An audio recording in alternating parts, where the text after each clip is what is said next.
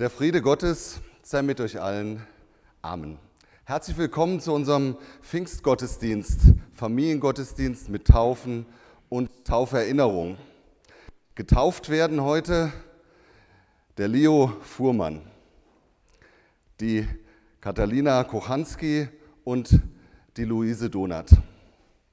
Herzlich willkommen den Familien, Eltern, Geschwistern, Großeltern, Paten, Freunden, alle, die sie mitgekommen sind. Und wir feiern heute auch Tauferinnerung. Und Sie sehen, hier sind viele Kerzen von Kindern, die in den Jahren 2012 bis 2014 getauft worden sind. Die haben wir angeschrieben. Und es ist schön, dass viele gekommen sind und sich heute an die Taufe erinnern. Ihr wart, liebe Kinder, Babys oder klein und habt das gar nicht so mitbekommen. Heute bekommt ihr hier live und in Farbe drei Taufen mit. Und nachher, nach den Taufen, lade ich euch ein, dann hier nach vorne zu kommen. Und dann will ich auch eure Kerzen mit euch entzünden und mit euch beten. Herzlich willkommen auch denen, die auf YouTube den Gottesdienst mitfeiern. Schön, dass Sie auch dabei sind.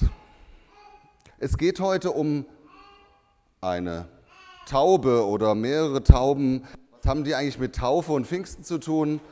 Das sie, werden Sie noch erleben in diesem Gottesdienst, den wir gemeinsam vorbereitet haben, unsere Jugendreferentin Julia Nötel und ich. Singen wir zusammen. 555, unser Leben sei ein Fest, das ist das dickere Gesangbuch.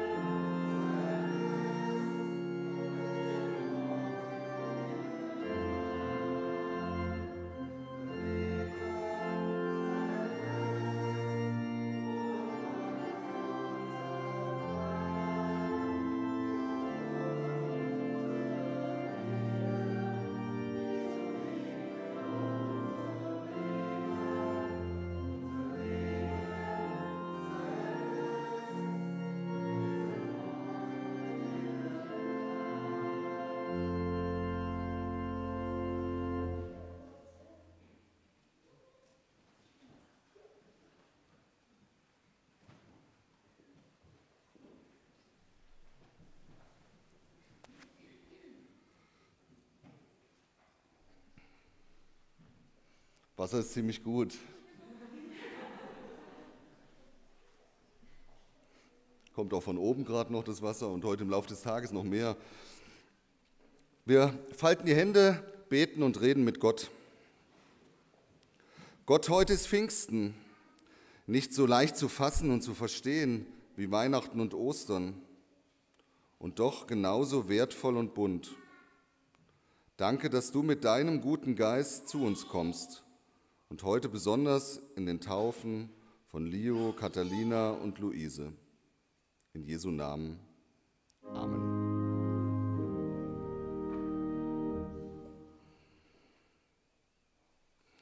Ja, liebe Tauffamilien, Kochanski, liebe Familie Fuhrmann und Donat,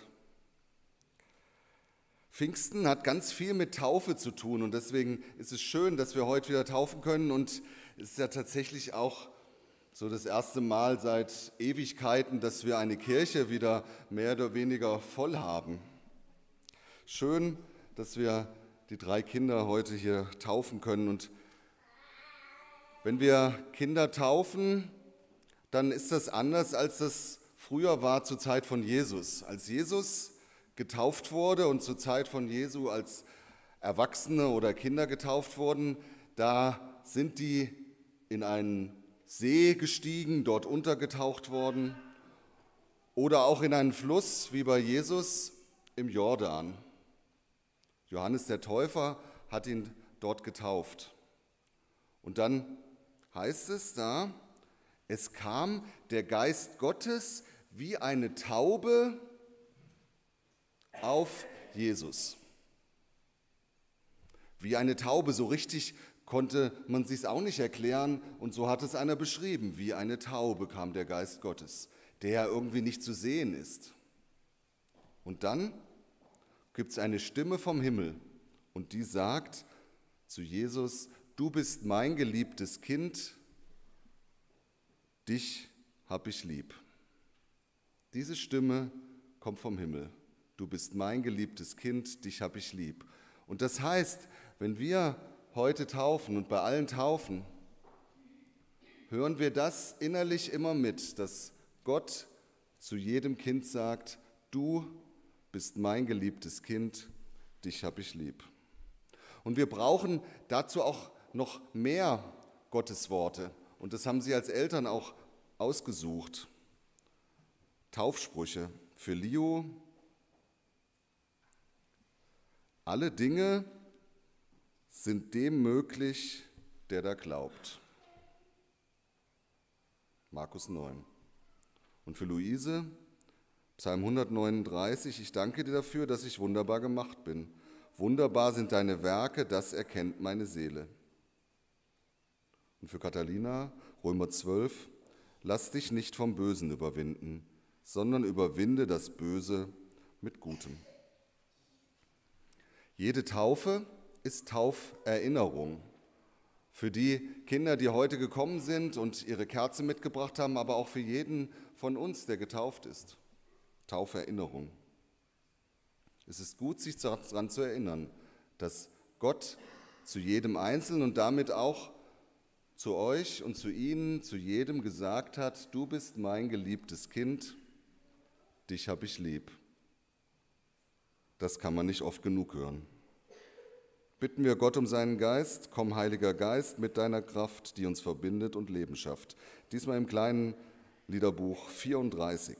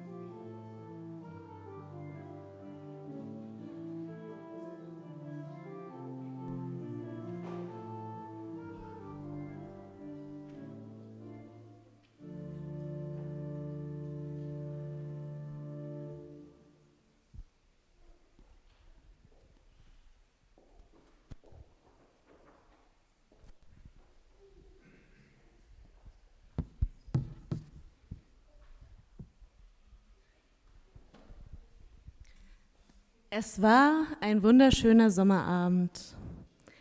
Hoch oben in einem Baum saß eine Taube und freute sich, dass es noch warm war vom Tag und dass so ein wunderschöner, klarer Sternenhimmel über ihr leuchtete. Doch als sie gerade ihren Kopf unter ihren Flügel stecken wollte, um für die Nacht zu ruhen, da hörte sie einen Lärm. Also wirklich, dachte sich die Taube, das geht doch nicht. Im Wald herrschen Regeln und eine davon ist, nachts ist es ruhig, damit alle schlafen können. Ruhe da unten, rief die Taube. Aber es blieb genauso laut wie vorher. Also flog sie von ihrem Baum runter und fand unten ein Eichhörnchen und einen Biber, die sich laut stritten. Was ist denn hier los? Es ist mitten in der Nacht und ihr weckt alle Tiere auf. Da sagte der Biber, die Eichhörnchen, die hindern uns daran, unsere Bäume zu fällen, die wir doch brauchen, um einen Damm zu bauen, wo unsere Kinder schlafen. Da sagten die Eichhörnchen, die Biber, die fällen die Bäume, in denen unsere Höhlen sind, in denen unsere Kinder schlafen. Und kaum hatten beide das gesagt, fingen sie wieder aneinander anzuschreien. Jetzt seid doch mal ruhig, sagt die Taube. Haltet euren Schnabel. Da kann man ja gar nicht drüber, da kann man ja gar nicht nachdenken bei dem Lärm. Also, Eichhörnchen, ihr kennt die Bäume doch in und auswendig. Warum helft ihr nicht einfach den Bibern? Ihr könnt ihnen sagen, welche Bäume sie nicht fällen sollen, in denen die Höhlen sind, und welche sie fällen sollen, welche nicht mehr gesund sind. Über den Vorschlag dachten sie einen Moment nach und fanden ihn gut. So, jetzt reicht euch die Pfoten und seid friedlich. Und so war es dann auch.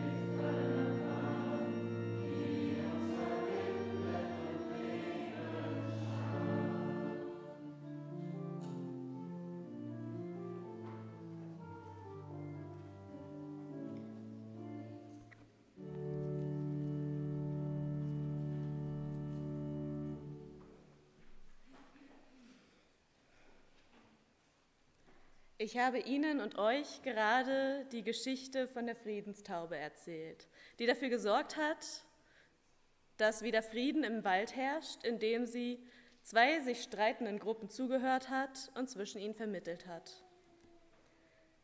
Die Taube in der Geschichte hat den Bibern und den Eichhörnchen geholfen zu verstehen, was der andere will und braucht und für Ängste hat.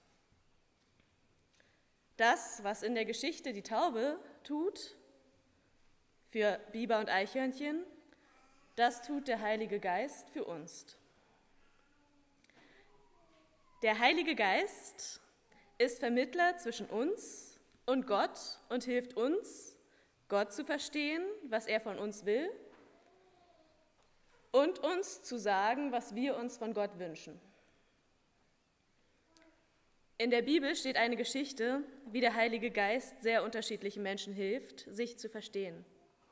Die Jünger sind in Jerusalem und reden über Jesus und Gott. Doch. Viele Menschen sind um sie herum und hören ihnen zu. Das Wunder, alle diese Menschen reden unterschiedliche Sprachen, Sprachen, die die Jünger niemals gelernt haben, und trotzdem können die Menschen die Jünger verstehen. Das war der Heilige Geist. Der Heilige Geist hat zwischen den Jüngern und den anderen Menschen vermittelt, damit sie einander verstehen, damit sie einander verstehen konnten. Und so wie der Heilige Geist damals den Menschen geholfen hat, die Geschichten von Gott zu verstehen, so hilft er auch heute uns, Gott zu verstehen. Die Taube ist das Symbol für den Heiligen Geist. Wir kennen sie als Brieftaube, die vor WhatsApp und Co zwischen Menschen äh, Nachrichten transportiert hat. Oder auch als Friedenstaube, wie in der Geschichte, die ich erzählt habe. Dort, wo wir uns wünschen, dass zwischen zwei kämpfenden Gruppen vermittelt wird, dass sie einander zuhören und alle gemeinsam glücklich leben können. Diesen Helfer, diese Friedenstaube brauchen wir heutzutage wahrscheinlich dringender denn je, wo es vielen schwerfällt, dem anderen zuzuhören und dem anderen zu verstehen. Dass die Taube aber das Symbol für den Heiligen Geist ist, erklärt sich aus der Geschichte, die Pfarrer Bürger erzählt hat, aus der Geschichte von der Taufe Jesu, in der der Heilige Geist in Form einer Taube über ihn kam. Heute werden Luise, Leo und Catalina getauft als Zeichen, dass ihr drei zu Gott gehört und der Heilige Geist mit euch ist und Gott euch liebt. Und wir anderen dürfen uns an diese Beziehung, an die Liebe Gottes erinnern. Ihr habt am Anfang Karten bekommen. Ich hoffe, dass es genug zumindest für jede Familie, jedes Kind sind. Die Eltern können ja den Kindern gleich helfen. Ich lade Sie und euch ein, auf die Rückseite von diesen Karten gute Wünsche zu schreiben. Die Taube, die auf der Vorderseite ist, darf dann, soll dann in ihren, euren Namen diese Wünsche zu Gott tragen. Die Karte könnt ihr anschließend mit nach Hause nehmen und immer mal wieder draufschauen und den Heiligen Geist um Hilfe bitten, diese Wünsche zu erfüllen.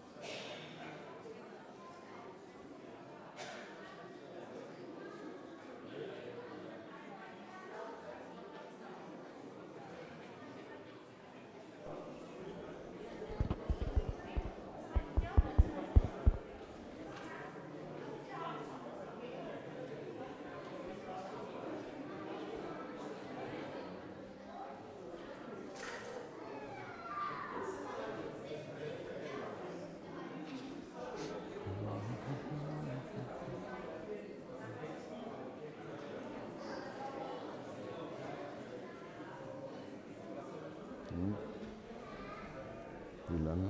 Wie lange wollen wir?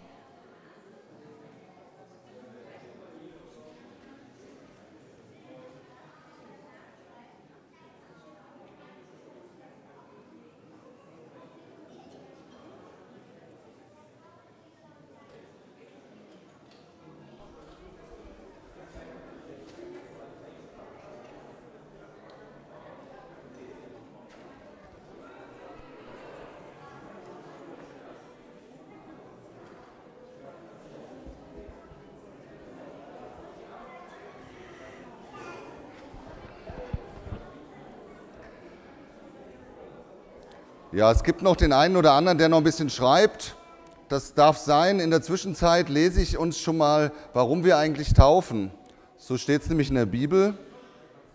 Da sagt Jesus nach seiner Auferstehung, mir ist gegeben alle Gewalt im Himmel und auf Erden. Darum gehet hin und machet zu Jüngern alle Völker und taufet sie auf den Namen des Vaters und des Sohnes und des Heiligen Geistes und lehret sie halten alles, was ich euch befohlen habe. Und siehe, ich bin bei euch alle Tage bis an der Weltende. Amen.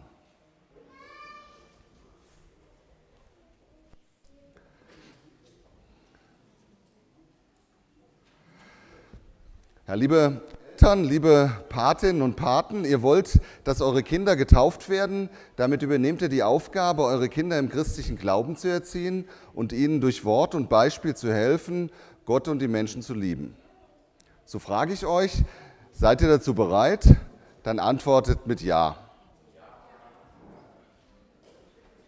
Dann lasst uns auch als Gemeinde Ja sagen und weil wir in einem Familiengottesdienst sind, lade ich Sie ein, ein Glaubensbekenntnis zu sprechen, was auch schon Kinder mitsprechen können, die auch noch nicht lesen können. Deswegen gibt es es auch nicht als, ich sage es immer vor.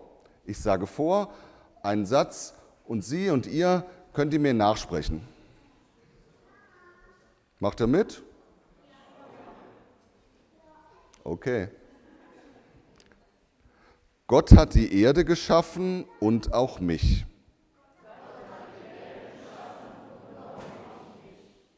Jesus lebt und geht mit mir.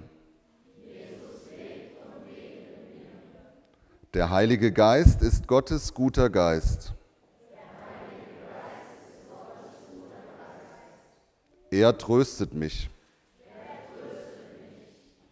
Ich bin getauft und mit vielen Christen auf der Welt verbunden.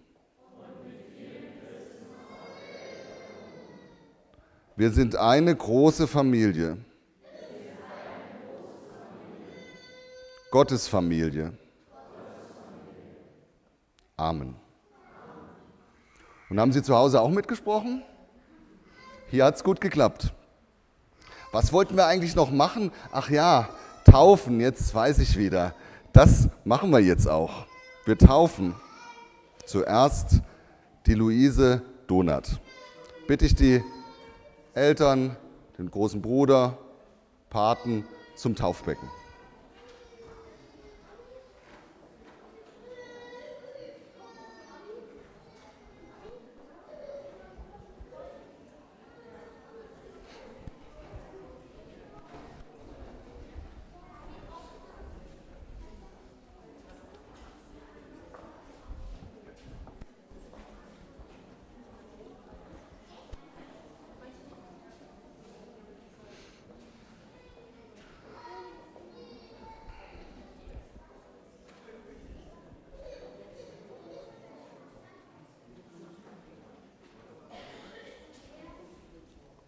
Magst du mal die Taufkerze anzünden, Konstantin, ja?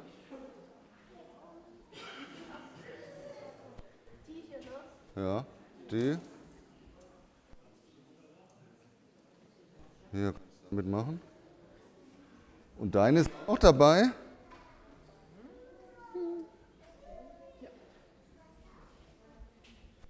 Die zünd ich an, okay? Oder willst du auch?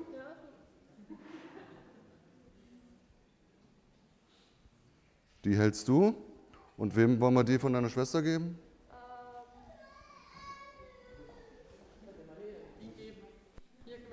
Hm.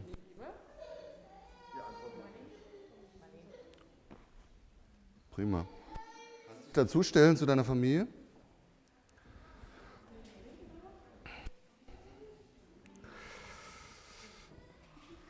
Luise Donat, dein Taufspruch.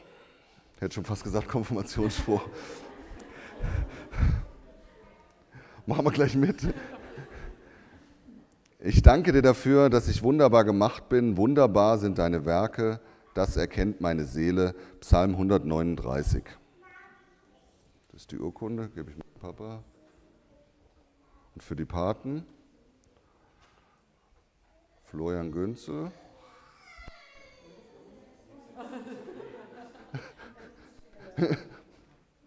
Und die Marlene. Prima. Na? Kommt das mit dem Wasser, gell? Jetzt hier Wasser rein, guck mal.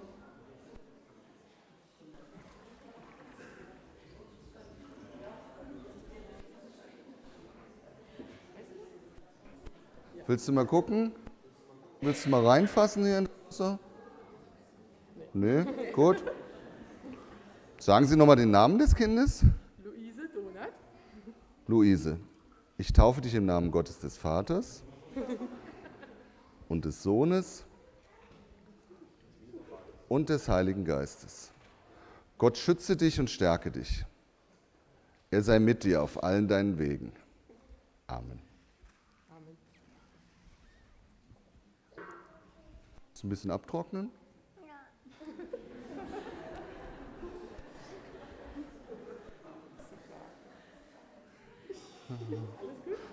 Ist auch ins Auge?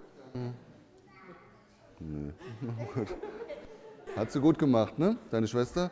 Dann will ich noch für euch beten. Gott stärke euch und schütze euch in der Erziehung eurer Kinder. Er gebe euch Kraft und Freude jeden Tag. Amen. Herzlichen Glückwunsch, alles Gute und Gottes Segen. Die Kerzen stellen wir hier hin und jetzt hören wir ein Lied von der Familie Donat. Ja. Genau, hier machen wir hier den, dann ver verwechseln wir sie nach. Ach, das war deine. Stellen wir hier hin.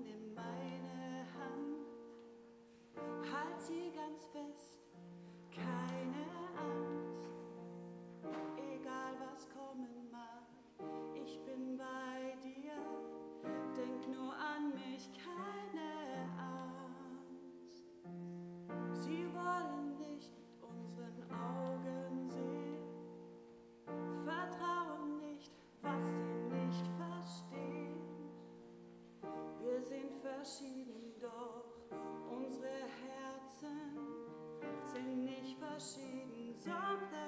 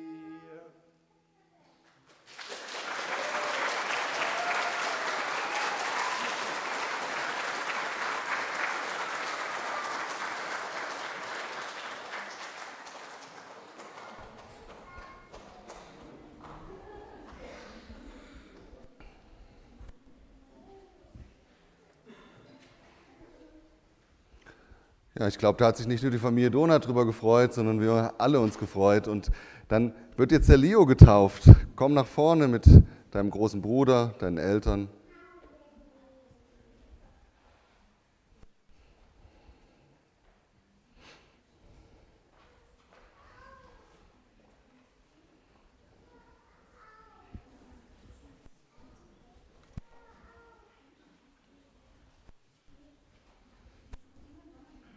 Philipp, magst du von deinem Anzünden?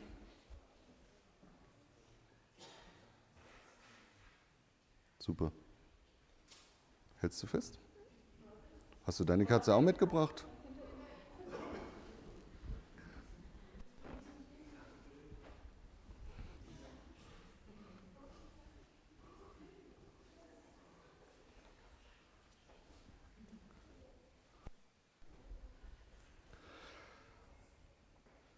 Ja, die Taufkerze, die ist dafür da, dass man sich immer wieder erinnert an die Taufe.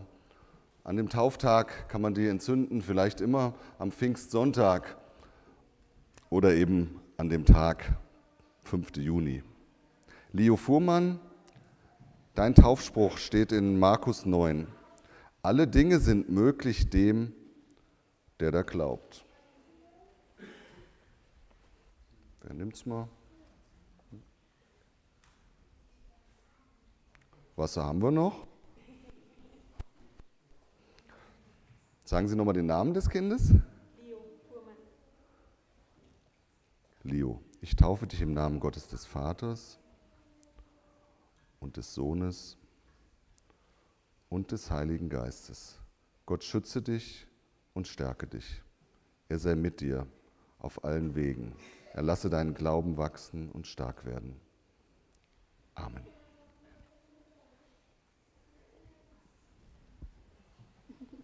Tüchlein macht die Mama.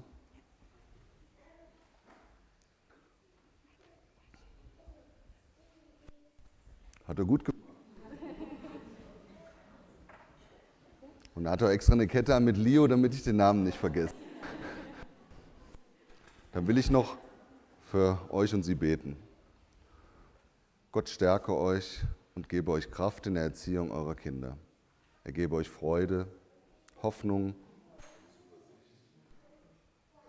so segne euch der gute und barmherzige Gott, Vater, Sohn und Heiliger Geist. Amen. Herzlichen Glückwunsch, alles Gute. Wir singen zusammen vom nächsten Lied.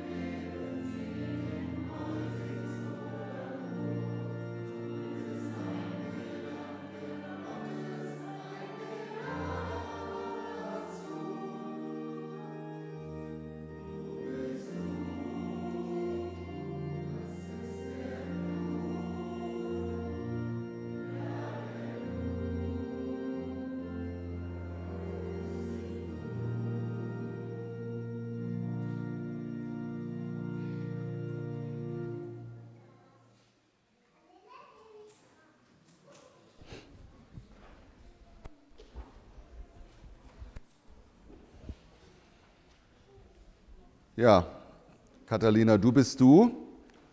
Ich bitte dich mit deiner Familie zum Taufbecken.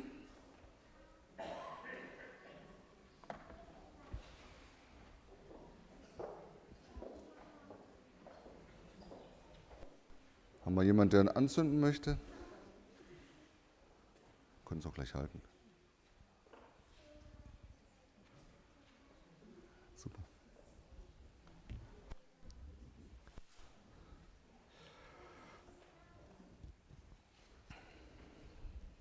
Eins fällt mir bei den Taufurkunden immer auf, also mehr so in letzter Zeit, irgendwie die Schrift wird immer kleiner.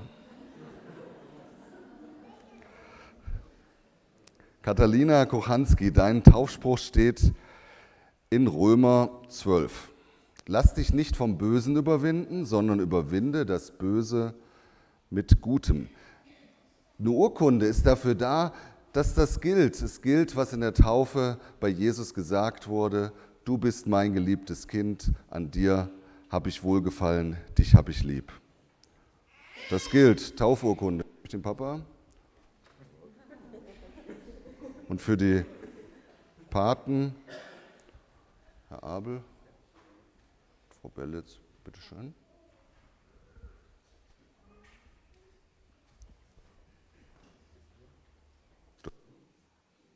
Den Namen nochmal des Kindes? Catalina, ich taufe dich im Namen Gottes des Vaters und des Sohnes und des Heiligen Geistes. Gott schütze dich und stärke dich. Er sei mit dir auf allen Wegen. Er schenke Glaube, Hoffnung und Zuversicht. Amen. Mhm. Einmal zum Frottieren. Ja. Prima. Willkommen den drei Kindern in unserer Kirche. Die Kirche wird größer, nicht immer nur weniger. Das müssen wir auch erzählen in der Öffentlichkeit. Wir werden mehr. Das ist schön. Herzlich willkommen, mein Applaus den Kindern.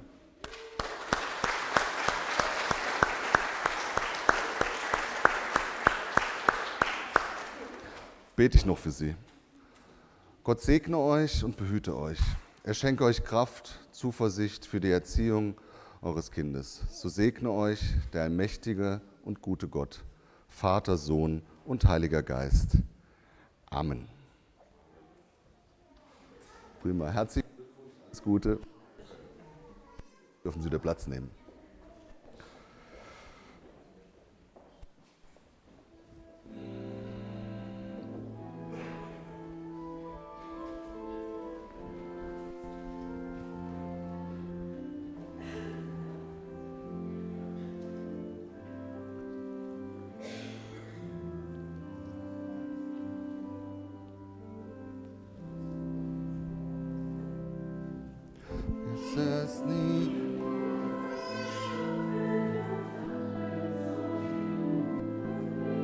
pleasured.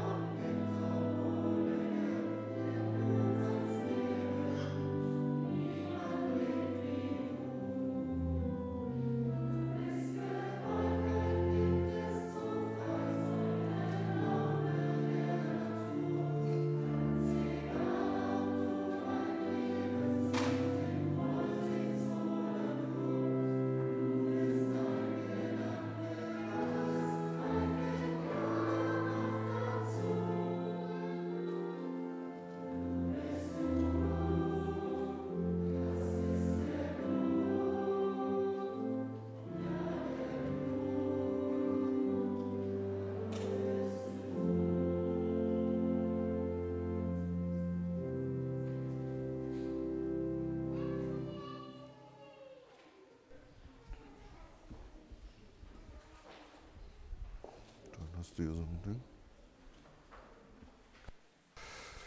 Ja, hier stehen viele Taufkerzen und alle, die diese Taufkerzen mitgebracht haben, lade ich ein, hier nach vorne sich um das Taufbecken zu stellen. Ich frage euch dann nach eurem Namen, wir zünden die Kerzen an und ich bete für euch, damit ihr wisst, was da passiert.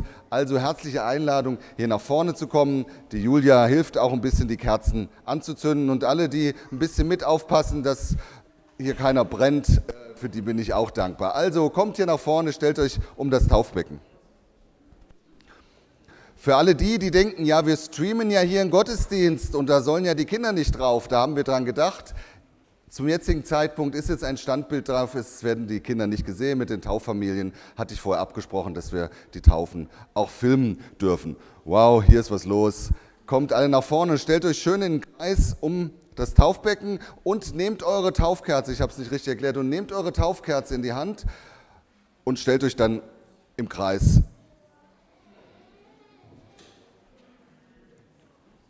Und wir zünden die euch an, wenn ihr da steht. Stellt euch im Kreis.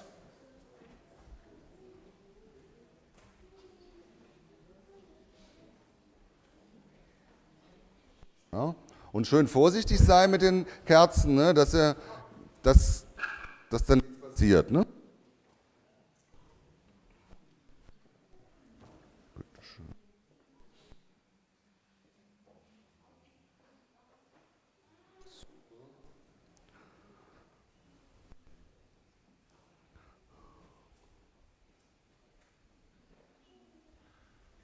Schön vorsichtig.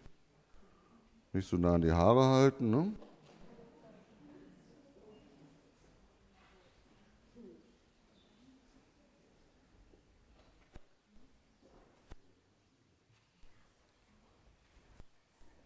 Okay.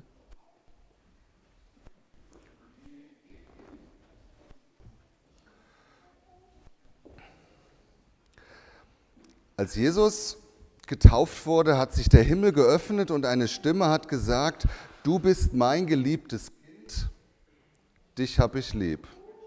Und genau das, dafür ist die Taufe da, euch das zu sagen und dass ihr euch da heute dran erinnert. Gott sagt zu euch, du, genau so wie du heißt, bist du mein Kind. Und jetzt bitte ich euch mal, eure Namen zu sagen, einer nach dem anderen. Bei dir fangen wir an und dann gehen wir hier eine Runde durch, sagt jeder seinen Namen dann bete ich für euch.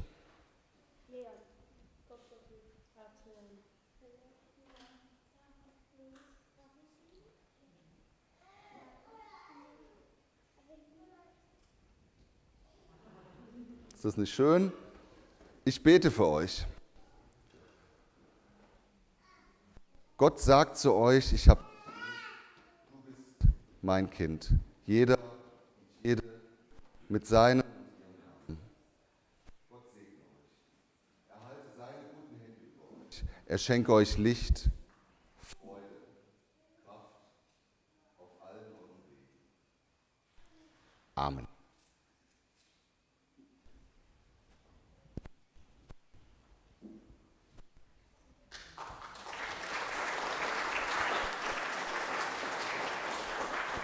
Das ist schön, dass ihr gekommen seid. Wir stellen die Kerzen hier hin und plötzlich wird es viel heller in unserer Kirche, weil ganz viele Lichter brennen. Ihr stellt die Kerzen bitte wieder hin und dann könnt ihr an eure Plätze gehen.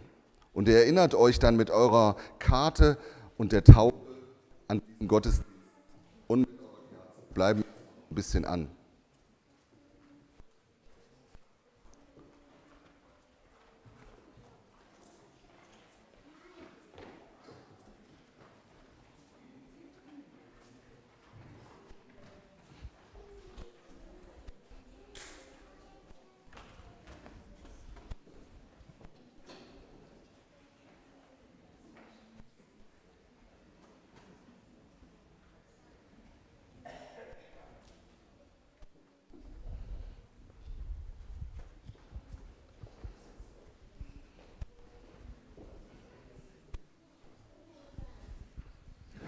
Dann beten wir jetzt zusammen, wem es möglich ist, bitte ich aufzustehen. Dann gibt es aus den Familien welche, die mitbeten, die kommen hier bitte nach vorne. Große Geschwister.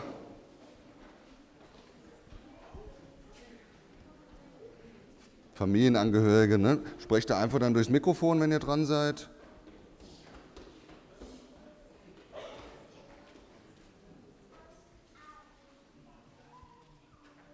Ja, kommen Sie hier auf dieser, machen wir hier. Schön.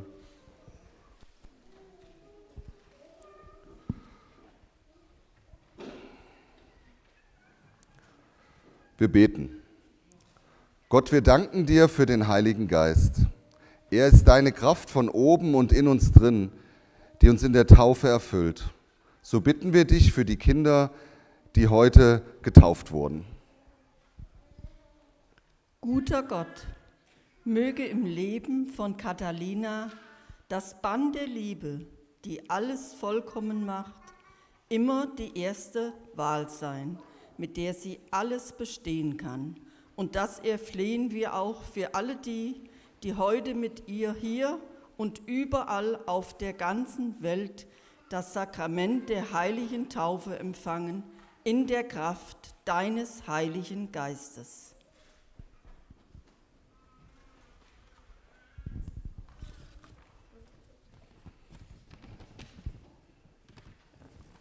Guter Gott, wir danken dir für meine Schwester Luise. Du hast sie wunderbar gemacht, uns alle. Beschenke und behüte du sie mit deiner Liebe, guter Gott. Guter Gott, alles ist dir möglich, wenn wir glauben. Welche schöne Zusage. Schenk meinen Bruder Leo und uns allen diesen Glauben. Stärke unseren Glauben und bewahre uns in Gefahren. Gott, dein Geist bringt uns als Gemeinde zusammen, als Starke und Schwache, als Frohe und Traurige. Bitte lass deine Liebe immer wieder auf uns herabkommen, wie eine Taube, und uns selbst so zu Boten deiner Liebe und deines Friedens machen.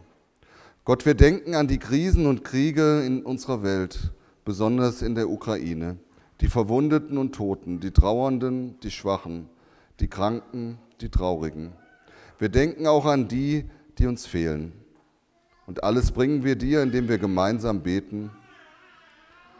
Vater unser im Himmel, geheiligt werde dein Name, dein Reich komme, dein Wille geschehe, wie im Himmel, so auf Erden. Unser tägliches Brot gib uns heute und vergib uns unsere Schuld, wie auch wir vergeben unseren Schuldigern und führe uns nicht in Versuchung, sondern erlöse uns von dem Bösen. Denn dein ist das Reich und die Kraft und die Herrlichkeit in Ewigkeit. Amen. Vielen Dank.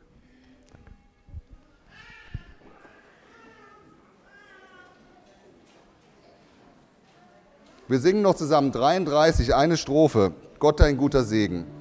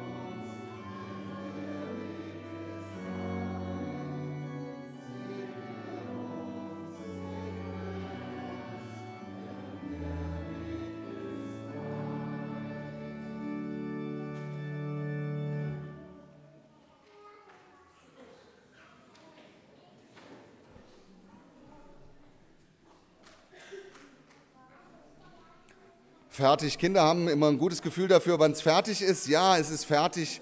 Wir haben zusammen Gottesdienst gefeiert. Ich wünsche Ihnen, liebe Tauffamilien, einen frohen Tauftag, den Tauferinnerungsfamilien auch einen gesegneten Tauferinnerungstag, allen anderen Gottesdienstbesuchern ebenso einen gesegneten Pfingsttag. Die, die uns auf YouTube zugeschaut haben und mitgefeiert haben oder demnächst mal mitfeiern, schön, dass Sie dabei waren. Die Kollekte soll für innovative Projekte in unserer Landeskirche bestimmt sein. Innovative Projekte dafür im Körbchen. Wir geben das dann weiter. Links am Ausgang in der Plexiglasbox geht es an unsere eigene Gemeinde. Der Wochenspruch heißt, es soll nicht durch Heer oder Kraft geschehen, sondern durch meinen Geist spricht der Herr Zebaoth. Bitten wir um Gottes Segen wenn es möglich ist, bitte ich aufzustehen.